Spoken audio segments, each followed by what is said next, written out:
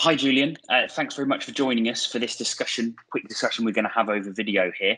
Uh, so the reason I wanted to have a chat with you was to talk about high performance computing. Um, so if you could just give us a bit of an overview about yourself and, and what is parallel and high performance computing? Yeah, hi, George. Thanks for having me.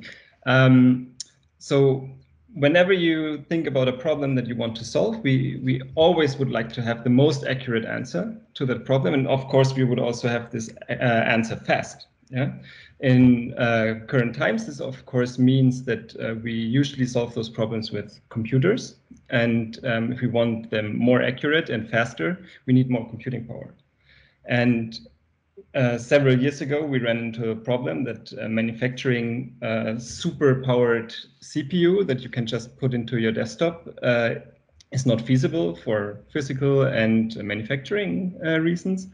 Uh, so we have to somehow get around that problem. And we do that by splitting up the problem in smaller parts, take those parts, uh, put them on different compute nodes or computers, solve the smaller parts on, on the computers, and then in the end, put the whole uh, solution together into one final uh, solution and get our big, accurate and uh, result in a reasonable amount of time. This is uh, parallel computing, and if you drive that further and further and use more compute nodes uh, and so on, and solve bigger problems, you end up with high performance computing. And um, yeah, so that's what high performance computing is. Excellent. So, so in essence, what it does is it takes a large problem, a big problem, breaks it off into smaller chunks, and solves all these smaller chunks at the same time, so that you can get a, a, an accurate answer very quickly. Yeah. Excellent, that's useful. So in terms of high performance computing then, how does that link into what we do at Ingrid Cloud when it comes to computational fluid dynamics?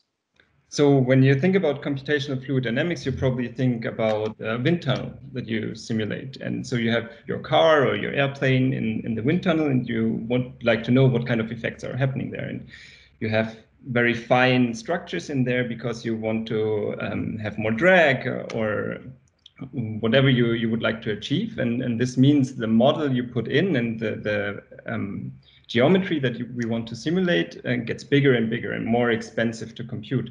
So we, we need more compute power. And as I said before, um, we cannot do this on a desktop machine anymore or one computer. So we, we have to use high performance computing and bigger machines or supercomputers and clusters to, to solve those problems.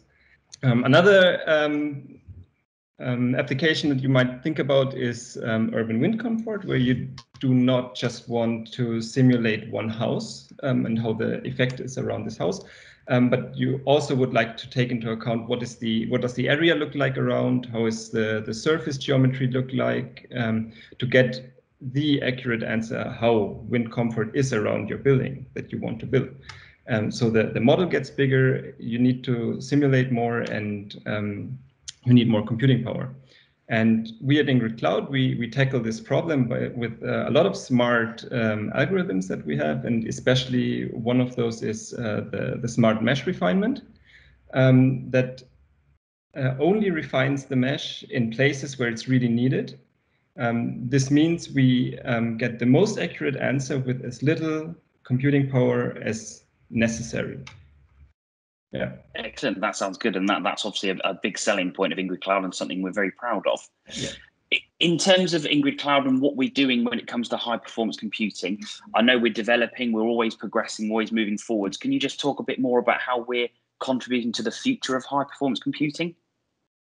So all the, the software that we use at Ingrid Cloud is based on uh, one platform. This is uh, DOLFIN, and it's uh, also based on, on the FEniCS platform, which is a, a large or open source uh, platform for solving partial differential equations. Um, it has a huge community and is developed by many people.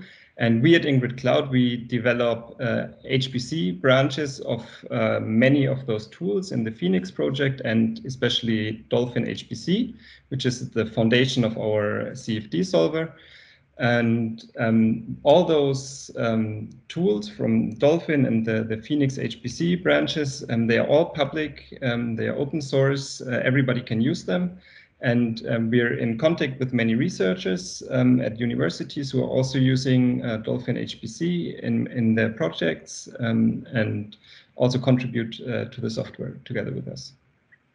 Okay, that's great. That's excellent. And I suppose it's worth mentioning that all of our latest contributions to the open source community will be made available in one of the comments towards the end of this post, so people can check those out if they want to. So that, that's it's been great to have an overview with you, Julian. Thanks very much for the information and uh, and hopefully we'll speak again soon. Yeah, thanks very much. Excellent, thank you.